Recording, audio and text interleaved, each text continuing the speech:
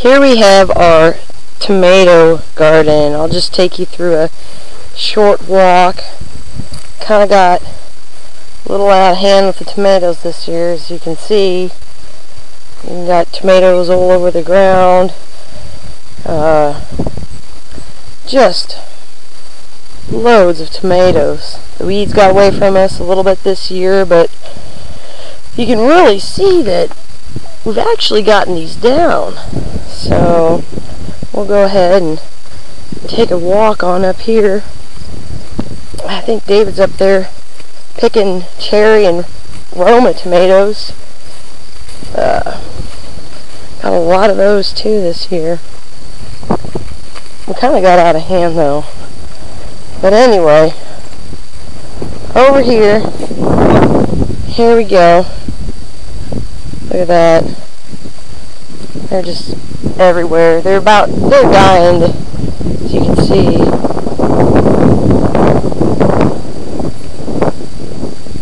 But, um, well, this keeps going here. I'm going to take you all the way down.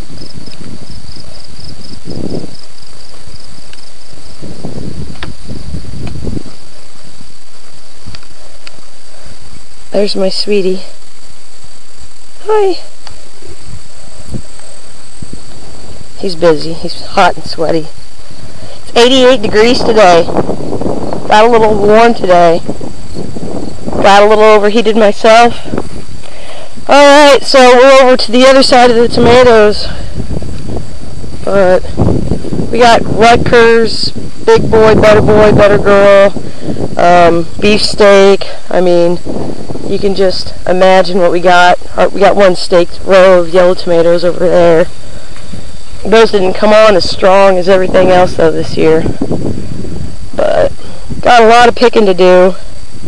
I mean just a lot of picking to do and David and I do all of our picking ourselves. And there's just there's quite a bit of picking to go on and he pretty much does this all day long and when I get home I uh, come out and I tend to some business too. We got a squash field over there to the right or the left, but uh, that's all the way over there. I'll take you over there another time. So anyway, this has been tomatoes.